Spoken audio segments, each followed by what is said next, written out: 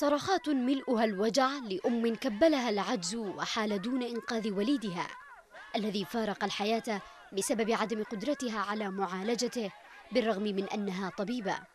وهذا المشهد المصور للطبيبة بدور أثناء قيامها بحرق زيها الطبي مطالبة برحيل مدير مستشفى الثورة بصنعاء والمعين من قبل الميليشيا احتجاجا على حالهم الذي وصلوا إليه.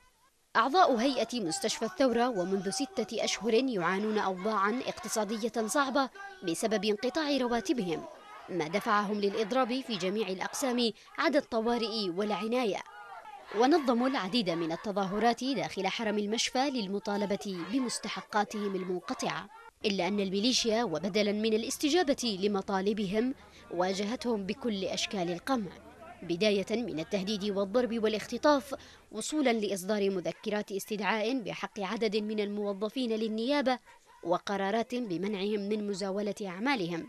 وكذا إنذارات نهائية بالفصل طالت أكثر من مئة طبيب من طلاب الدراسات العليا على خلفية الاحتجاجات.